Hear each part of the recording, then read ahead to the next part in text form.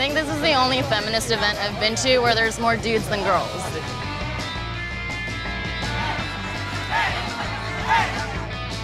We're in Venice Beach at the Go Topless Parade, which is basically this movement to support women's rights to be topless wherever men can be topless. That could be anywhere from in your backyard, your front yard, you're in your car, on the to beach. Venice Beach. To Venice Beach. How many of you men out there are brave enough to put a nipple pasty on or wear a bikini top and actually feel what it feels like to have to cover up? Because Totally. actually it's very natural to be topless.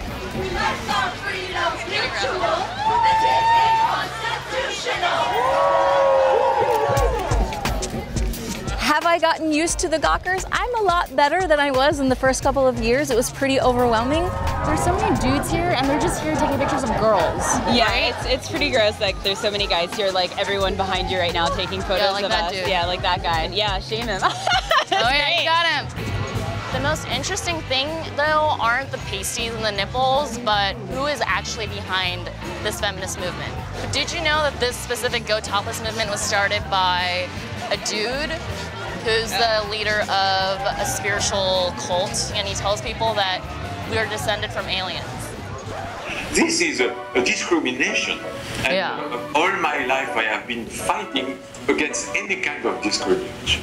All the top scientists of the world recognize we are very close to mass extinction, not only of human, but of everything alive on Earth. And so we have to save the planet. And show your nipple is part of it, is part of changing the consciousness of every human being on Earth.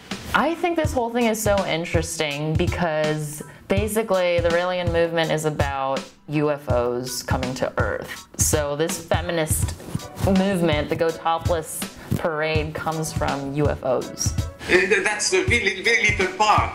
Because, you know, UFO, okay, you see a UFO and your life is the same. That's not, what is important is not the UFO, is what is inside. What kind of philosophy, what kind of uh, uh, beautiful value they bring in our life. We never born with clothes.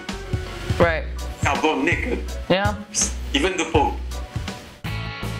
This movement was started by a dude because he got the message from extraterrestrials. Does that make a Well- difference to you? Um, no, because I think like overall the message is that like not only is it national, but it's also international. That like the gender inequality of like what men can show their nipples or breasts and like women can. More dudes should be feminists. Like it shouldn't just be a female movement about feminists. And feminism is about being treated, you know, as an equal. Are you showing up grabbing, grasping, gawking, or are you truly here to support? To say yes, yes, more? As women start to bare their breasts on this boardwalk, on this beach, chances are at the start, there are going to be a lot of golfers. Men, some of you, us, are going to be watching.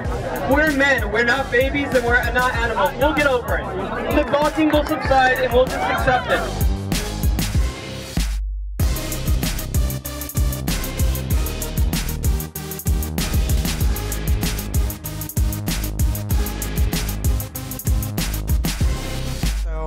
Just last week, I sold one. The guy left looking very happy, very happy. Oh yeah, I've been hooked up to one of those before. Yeah, actually. um, Fist. you know, it takes a few years to get there. Right? You gotta get competitive, like bodybuilding, but stretching your asshole. Can you tell us one little known sex fact? The clitoris actually has like two legs that go down inside, so you can also stimulate the clitoris through labia as well.